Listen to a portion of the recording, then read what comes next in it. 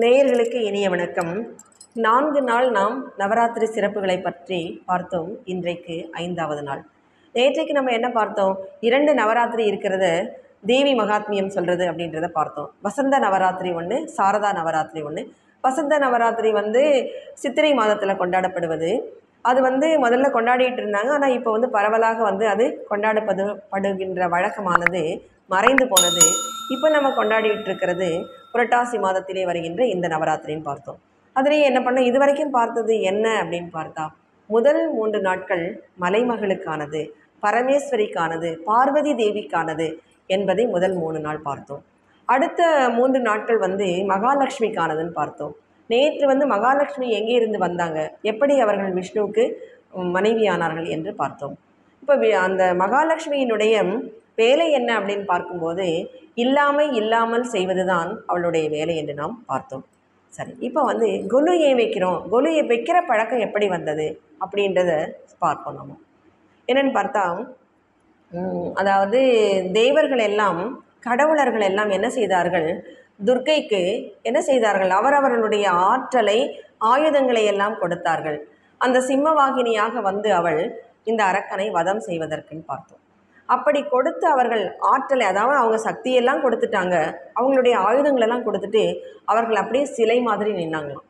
அவங்க சிலை மாதிரி நின்னதுனால தான் வந்துட்டு அதையெல்லாம் வந்து சொல்லுகின்ற விதமாக அதையெல்லாம் உணர்த்துகின்ற ஒரு விதமாக நாம் இந்த மண் பொம்மைகளை எல்லாம் வந்து சிலைகளாக இங்கே வைக்கின்றோம் அப்படின்றது ஒரு செய்தி.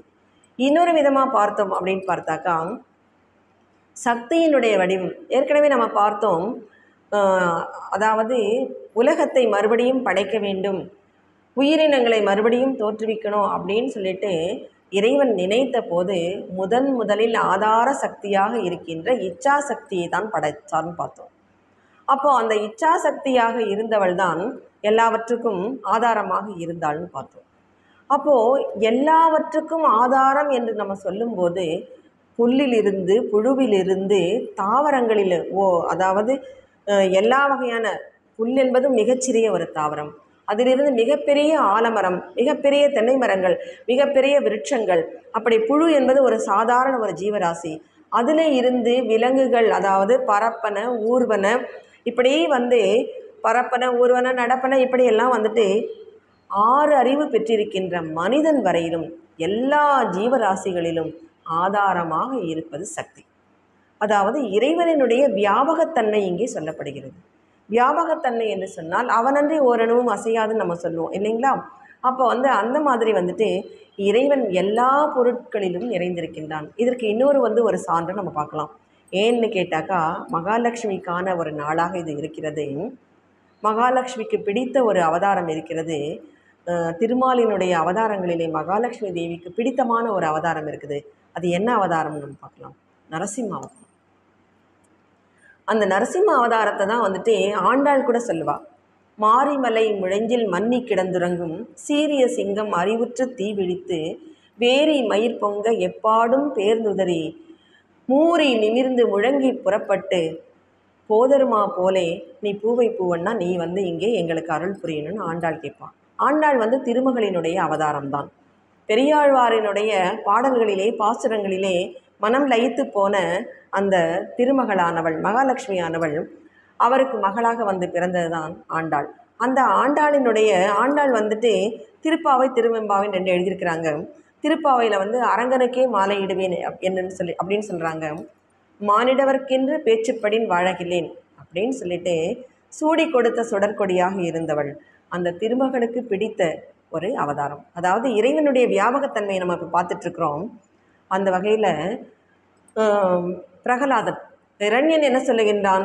இறைவனே இல்லை நான் தான் கடவுள்னு சொல்லிட்டு சொல்லிட்டு இருக்கிறான் அப்போ வந்து எல்லோரும் வந்து நாராயணாய நமக அப்படின்னு சொல்லிட்டு இருந்தா அப்படி சொல்லவே கூடாதுன்னு சொல்லிட்டு எல்லோருக்கும் தண்டனை கொடுத்து இரண்யாய நமகன்னு சொல்ல சொல்கிறான் ஆனால் அதே சமயத்தில் அவனுடைய மகனான பிரகலாதன் என்ன செய்கின்றான்? நாராயணாய நமகன் தான் சொல்கிறான் அப்போ வந்து அவனுக்கு நிறைய தண்டனைலாம் கொடுப்பாங்க. தண்டனைலாம் கொடுத்தாலும் அந்த குழந்தை திருந்தவே திருந்தாது. கடைசியாக வந்து இரண்யன் என்ன கேட்குறான் நீ வணங்குகின்ற அந்த நாராயணன் எங்கே இருக்கின்றான்?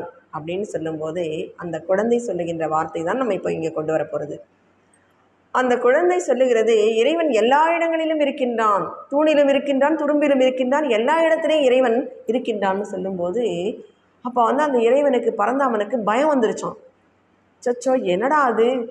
சின்ன குழந்தை வந்து நம்மளை பற்றி தெரிஞ்சு வச்சிருக்குது.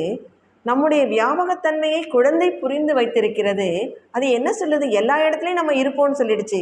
அப்போ அந்த குழந்தையினுடைய வாக்கை வந்து நம்ம பொய்யாக்கலாமா? அப்படின்னு சொல்லிட்டு அந்த இறைவன் என்ன செய்தானாம்? வேக வேக வேகமாக ஓடி எல்லா பொருளிலும் நிறைந்திருந்தானாம். அணுவிலிருந்து மிகப்பெரியதாக இருக்கின்ற அத்தனை பொருளிலும் இறைவன் அந்த பெருமாளாக இருக்கின்ற விஷ்ணுவாக இருக்கின்ற நரசாம் நரசிம்ம அவதாரம் செய்ய போகின்ற அந்த பரந்தாமன் எல்லா பொருளிலும் சென்று நின்றானாம். ஏன் என்று கேட்டால் சமயத்தில் இந்த குழந்தை என்ன செய்யுமோ தெரியாது. இங்கே தான் இருக்கிறான்னு சொல்லிட்டு நம்ம நம்மளை எங்கே கை காட்டுமோ தெரியாது. அதோட எல்லா இடத்துலையும் நம்ம இருக்கிறோன்னு வேற குழந்தை சொல்லிடுச்சு. அந்த குழந்தையினுடைய வாக்கை நம்ம பொய்யாக்கக்கூடாது அப்படின்னு சொல்லிட்டு எல்லா இடத்திலும் சென்று நிறைந்திருந்தானாம். இதோடு இதை நம்ம நிறுத்திக் கொள்வோம். அப்படி இறைவியானவள் எல்லா இடங்களிலும் நிறைந்து இருக்கின்றாள் என்கின்ற அந்த ஒரு கருத்தை சொல்வதற்காக அந்த ஒன்றை நிரூபணம் செய்வதற்காகத்தான் இங்கே நாம் கொலு வைக்கின்றோம். கொலுவில் பார்த்தோம்னா எல்லாமே இருக்குங்க. அதாவது கொலு வைக்கிறதுக்கான நிறைகள் அதாவது நியதிகள்லாம் சொல்கிறாங்க அதை நம்ம இங்கே சொல்ல வேண்டாம். எல்லாருக்கும் தெரிஞ்சிருக்கும் அது.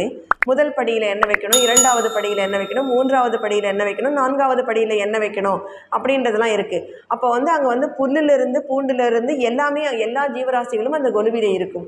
அந்த கொலுவில் இருக்கிறது என்ன அப்படின்னு கேட்டாக்கா இறைவன் எல்லா இடங்களிலும் இருக்கின்றான். இறைவன் எல்லோருக்கும் ஒரே மாதிரியான அருளை பாலிக்கின்றான். எல்லோரும் சமம் என்கின்ற ஒரு உணர்வு அங்கே வர வேண்டும். சரி கொலு மட்டும் வச்சுட்டோம் எல்லாத்தையும் வச்சுட்டோம் எல்லாத்துலேயும் இறைவன் நிறைஞ்சிருக்கிறான் அப்படின்னு சொல்லிட்டு நிறுத்திக்கிறது இல்லை எல்லோரிடமும் அன்பு பாராட்ட நாம் கற்றுக்கொள்ள வேண்டும். யாரையும் வந்து உயர்ந்தவர்கள் தாழ்ந்தவர்கள் என்று அவர்களை வேறுபடுத்தி பார்க்கக்கூடாது. எல்லோரிடமும் இறைவன் இருக்கின்றான். அதனால் நாம் எல்லோரிடமும் சமமாக அன்பு பாராட்ட வேண்டும். யாரையும் உயர்வாகவோ மிக மிகுந்த உயர்வாகவோ நினைக்கக்கூடாது. யாரையும் தாழ்ந்தவர்களாக நி- நி- நினைக்கக்கூடாது என்கின்ற ஒரு சமநோக்கு நமக்கு வர வேண்டும் என்பதுதான் இந்த கொலு வைக்கின்ற செய்தியினுடைய தாத்பரியம் இந்த உண்மை அது இதுதான். கொலு வைப்பதனால் அதை வ- கொலு வச்சுட்டு மட்டும் நம்ம விட்டுறக்கூடாது. நமக்கு அந்த உணர்வு மனதிலே வர வேண்டும். அதுதான் இது இதனுடைய இந்த கொல்லு வைப்பதனுடைய ஒரு முக்கியமான ஒரு செய்தி. இதை இன்றோடு நாம் நிறைவு செய்வோம். நேயர்களே நன்றி வணக்கம்.